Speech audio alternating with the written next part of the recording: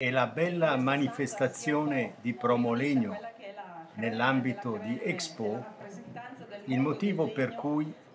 c'è una nuova interessante visita all'Expo. Sonia Maritan, direttore di Struttura Legno, Sistema Serramento e Fare Italia, dà i suoi commenti sulla manifestazione e sulle strutture in essa ospitate, ma anche Pietro Ferrari, direttore di Industria del Mobile e il Legno, e Paola Govoni, direttore di World Furniture, dicono la loro su questa bella e interessante manifestazione che sta registrando un buon successo nello scenario dell'estate milanese. Benvenuti all'Expo, emozionante essere qui a me riporta indietro nel tempo, alle pagine della storia, al 1850 o giù di lì, con la prima esposizione universale di Londra. E è interessante forse fare, anche se in poco tempo non è così banale, un confronto tra oggi e ieri, perché sicuramente quelle esposizioni universali di cui abbiamo letto e studiato tutti avevano eh, avevano dire, lo scopo di raccontare questi nuovi materiali, queste nuove tecnologie e poi anche di farle circolare per il mondo. Quella di oggi mi chiedo qui e ora quale scopo avrà, no? perché nell'era della rete, della società liquida di Bauman, forse lo scopo è un altro, forse è più quello di congelare a partire da questa esperienza dei pensieri, dei concetti e magari se sono interessanti farli diventare dei principi dicevamo anche del legno come finitura, questa è un una bellissima parete reticolare con il multistrato, eh, semplice eppure assolutamente nell'insieme, ripresa da lontano, credo che renda moltissimo. Oltre che richiamare anche qui molto alla, alla cultura del luogo, in questo caso siamo nel padiglione turco, che poi mischia e miscela con altri materiali come quella parete maiolica e come quella parte tutta realizzata in pietra. Parlavamo prima del padiglione austriaco di questo futuro grattacielo di 200 metri in Cina che verrà realizzato in legno, ma ovviamente è in legno perché c'è la collaborazione importantissima di altri materiali strutturali, soprattutto nei nodi dell'acciaio e credo anche del cemento armato quindi, eh, quindi, è bello anche vedere i colori dei materiali e, e, le combinazioni dei materiali. Anche perché forse parlavamo del fatto che sono più questi concetti che dovranno rimanere una volta che, verrà, che finirà questa, questa, questa lunga festa dell'Expo a Milano e, e i messaggi più importanti saranno quelli di creare delle filiere in questo modo anche quasi eh, si possono creare dei paralleli tra quella alimentare e quella dell'architettura e delle costruzioni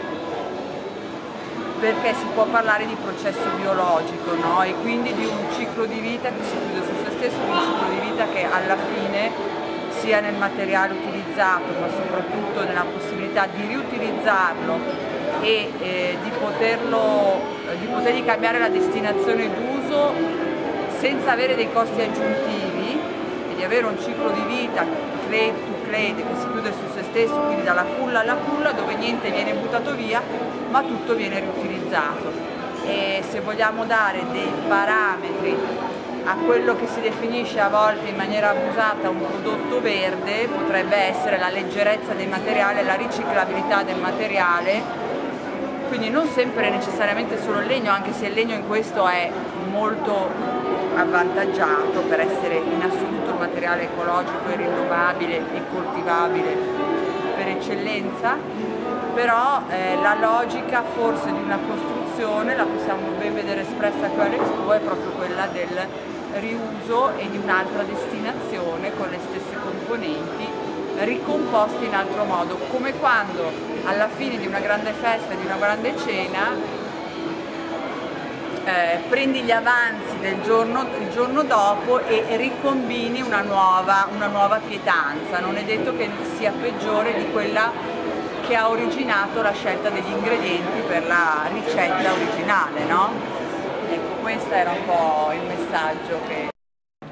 Questo è il meraviglioso padiglione giapponese che abbiamo visto un po' nascere e crescere con delle interviste di cui ci siamo occupati su struttura legno. E quindi anche tutta la tecnologia che dietro poi ha creato questo incredibile lavoro, questa sorta di paravento magico che emana un profumo buonissimo e, e inebriante di larice giapponese. E questo gioco di incastri credo che parli da solo e qui sicuramente la macchina e il software hanno avuto una parte fondamentale di cui per noi è particolarmente bello vedere il risultato. Il legno è usato nel padiglione estone con la massima decisione. Non solo le strutture esterne, i rivestimenti, ma anche i pavimenti e tutto ciò che sta nell'interno è realizzato in legno di pino di meravigliosa grezzezza. sembra eh, un uso appropriato in cui il legno da solo contribuisce a costruire il progetto architettonico. Sul finire di questa splendida giornata all'Expo siamo ancora in un altro padiglione, quello estone,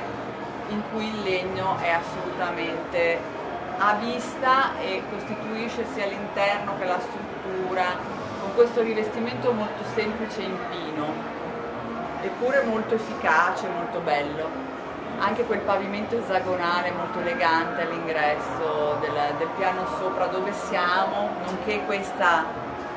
eh, bellissima foresta digitale è un altro ulteriore inno al legno. Consideravamo, guardando un po' di padiglioni, ma anche questo, che è usato molto in modo rustico, per cui molto lasciato grezzo, no? Certo. Eppure è altrettanto efficace, non so se questa sia una scelta progettuale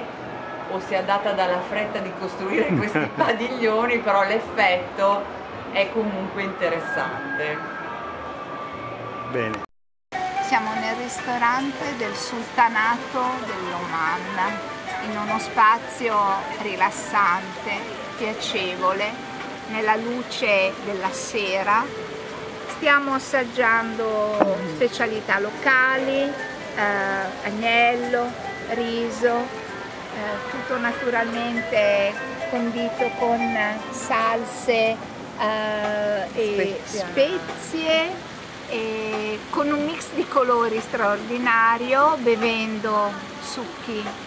di frutta e mm, godendo di questa cornice di acque, eh, di palme e di,